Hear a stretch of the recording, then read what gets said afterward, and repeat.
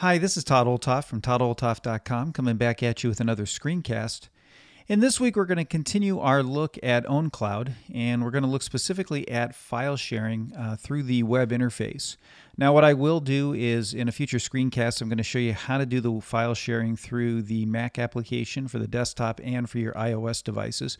But right now, I just want to show you the different options that are available for file sharing with OwnCloud, because uh, that is one of the primary features that's built into uh, the system itself. And you can see here that I'm logged into my OwnCloud instance, and the first screen that I'm shown is the actual file screen itself. Now, as we look at this interface, you'll notice that we've got a sidebar here that will allow me to sort my different files by things like favorites or those that are shared with me, those I'm sharing with others, those that I'm sharing by a link that I created, which I'll show you how to do in a minute, and then the different tags that I might have for those files, as well as any deleted files down here at the bottom. When I come over to the right here, you can see that I've got a documents folder, a photos folder, and then I've got the OwnCloud manual itself that's updated. You can see that this is an actual file, and these are folders right here. And you'll see as I hover over them, I've got different options. You notice here I've got a star where I can star uh, a particular folder and that way when I do go to the favorites area here it will only show me those different folders or documents that I've starred. Let me just go back to all files here.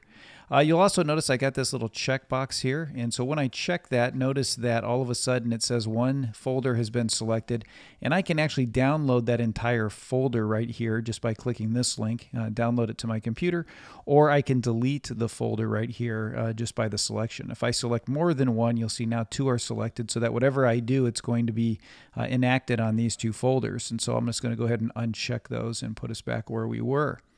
Now, as I come over, you notice that I've got some options here. Uh, right here, I have a, if I just click on this, I've got a sharing option. And you can see I get this slide out drawer that allows me to share. And so what I can do is I can share by the users and groups that I have connected with OwnCloud itself, or I can do a public link. And so let's say I want to share with a user that I've got. If I just go ahead and start typing in the name of somebody that I might have on my server, you can see that they come up. And if I just click this right here, you can see that it's going to now share that particular folder. And you can see it's got a shared icon there now.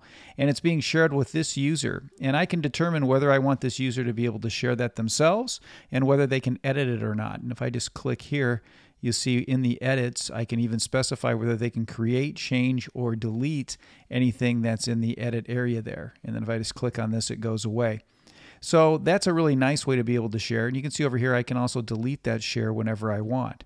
So now what will happen is, is that user now will see this documents folder show up in their OwnCloud instance. It will just automatically show up there and they'll be set and ready to go. Now, the other way I can share is also through a public link. And what I can do here is create a public link. If I just uh, click on that, and you can see that uh, the, uh, the link's name, I can make it whatever I want. I can choose it to be read only, read and write, or upload only. And so that would be the idea of just a file drop where they can put things into it, but they can't actually get things out of it. And then I can set up a password for it as well as an expiration date. And once I do that, then that link will be created and then I can share that link with whoever I want. Uh, so let's just go ahead and say documents link there. Uh, I can choose a password if I want one. So I'll just go ahead and do that. I'm just going to say a real short password and see when I go to expiration date, let's say I want to choose expiration of Friday or something like that. And then I can say save. And what it's going to do is save a public link. And you can see I've got this public link right here now for this particular file uh, folder. And you can see that it says it's shared now with a link.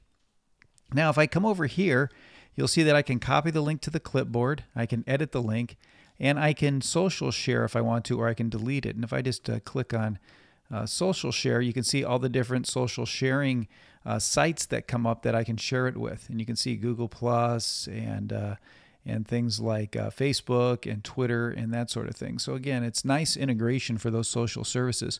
I can also just come in here to edit and I can edit this at any time and uh, remove the password, that sort of thing, depending on what I want to do with that link. So now I've got a uh, public link that I've created that I can share so that people can get access to this folder as well. Now, another thing you'll notice inside this uh, sidebar here is if I just go over here to comments, you'll notice that I can type a comment in here and post it. And so this is a little bit of a collaboration exercise here where we can collaborate about this particular folder. I can type in, uh, you know, let's just say nice folder, something like that. I can say post. So now what it's going to do is post that down here, shows when I posted it and all of that. And so then other people can then post below here as well, and we can comment back and forth on any work that we're doing. Uh, you can see if I want to edit the comment at any time, I can do it right here by editing it. If I want to delete it, I just hit delete, and now the comment disappears. So there is that level of collaboration. The other thing I can do is collaborate with tags, and so I can type in any tags that I want. And so I can say, let's say I put files in here, and I hit uh, return, and now files shows up right there for me so that's all ready to go and I can just put as many tags in as I want I can put files I'll put uh, important let's say We'll put that in there. And so we have all those things. And so I can just create these tags. Now, once I create these tags and once I create all these sharing instances over here, if I'm done with it, I can just close the window right here and everything comes back out. Now, if you look over here now, what happens is you can see I've got my favorites, which will show my documents folder. Shared with me, you'll see that there's nothing shared with me. Shared with others, you can see there's my documents folder that I've shared with others. And you can see the shared information right there, and I can get access to it. Shared by a link, again, that same folder, because I did share that by a link. And then tags. And so I can go to the tags that I want to filter by. So I can filter by files, and it's going to show me anything with that particular tag. I can uh, click off of it and then it disappears.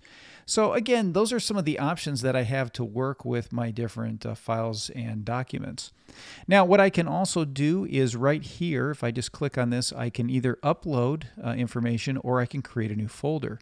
And so let's go ahead and uh, let's go ahead and uh, upload. I'm just going to hit upload. I get this drop down. Let's say I want to upload this image. I'm going to choose that image. And what it's going to do is upload it. And so there's my uh, JPEG that I just uploaded. So that's now on my OwnCloud instance and we go to all my devices. If I uh, click on it, uh, let's see if I just click on it here, you'll see I get this uh, slide out and it shows me the photo up here so I get an idea of what it is. And I have the same options over here uh, with the exception that I do have versions. So if I've got different versions of this particular photo that I change, it will track those versions. Otherwise, everything else is the same over here. And if I just uh, click on this, I can download it and you see it's downloaded it to my desktop now and I have access to that photo on my computer. Uh, I can always just close this like anything else. So that's how that works with uploading folders, uh, files, I mean. Now I can also uh, create new folders on, on here. If I want to create a new folder for uh, a project, let's say, and hit enter. And so now it's going to create a project folder. To get into a folder, I just uh, I can uh, click on it right there. And then once I click into it, you can see that I have the different uh, files inside that particular folder. If I ever want to retrieve any deleted files, I can do that. So for instance, if I if I uh, choose to, I can pull this one out and delete it. If I choose to delete this particular file, I can come over here. There's my details, which brings up the sidebar. I can rename it from here as well. You can see right there, I could rename the file. Let me just click on this. I can download it, and then of course I can delete it. And so I'm going to delete that squirrel file. But if I come down here to deleted files, it does have it in here so that I can restore it if I want to. And now it's restored the file. And if I go back to all files, I go back into photos, and I come in here, and you can see the squirrel file is back.